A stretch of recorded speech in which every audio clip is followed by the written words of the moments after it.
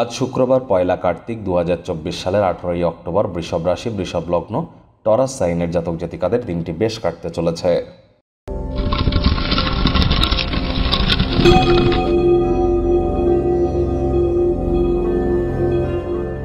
ভিডিওটির শুরুতেই স্ক্রিনে আপনারা দেখতে পাচ্ছেন শুক্র গ্রহের বীজ মন্ত্র ওম দ্রাং দ্রিং দ্রোং স শুক্রায় নামা। এটি আজ আপনারা একশো আটবার জপ করুন। অত্যন্ত উপকৃত হবেন লাইট কালারের ড্রেস পরুন, উপকৃত হবেন। মাতা লক্ষ্মীর নাম জপ, ধ্যান, আরাধনা করুন।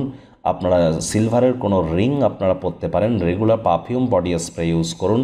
অথবা আপনারা ভেনাসের মাউন্টে কিছুটা আপনারা শ্বেত চন্দন লাগাতে পারেন, স্নানের জলে হাফ কাপ কাঁচা দুধ দিয়ে স্নান করতে পারেন বেডরুমে একটা সাদা ফুল রাখতে পারেন, এগুলি করলে শুক্রের তত্ত্ব আপনার প্রতি বৃদ্ধি পাবে ওয়েলথ ক্রিয়েশনের ক্ষেত্রে প্রেমের জীবনে ফেমাস হওয়ার জন্য ক্রিয়েটিভ সেক্টরে ল্যাভিশ লাইফস্টাইল ব্র্যান্ডেড সেক্টরে যারা আছেন, তারা অত্যন্ত উপকৃত হবেন।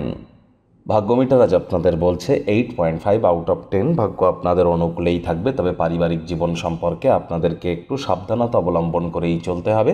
শুভ সংখ্যা থাকছে দুই, শুভ রং থাকবে সাদা। জীবনের ব্যাপারে উদার মানসিকতা তৈরি করুন। আপনার বর্তমান অবস্থা নিয়ে অভিযোগ করে বা মন খারাপ করে কিন্তু কোনো লাভ নেই। এর ফলে দৈনন্দিন জীবনের সুগন্ধ নষ্ট হয়ে যায়, জীবনে বেঁচে থাকার আশাটাও নষ্ট হয়ে যায়।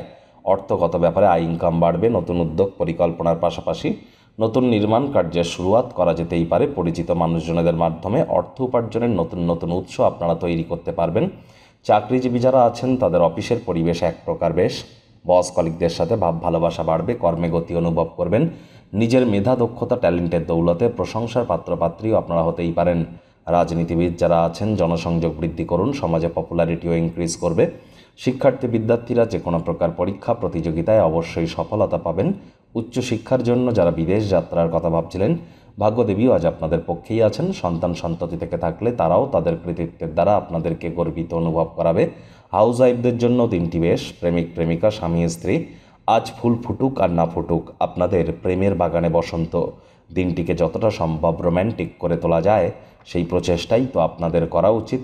অবিবাহিতদের বিবাহের যোগ পরিলক্ষিত হচ্ছে, যারা প্রেমে পড়েননি তাদের জীবনে স্বপ্নের নারী বা পুরুষের আগমন আজ কিন্তু হতেই পারে, একটু প্রচেষ্টা আপনাদেরকেও করতে হবে।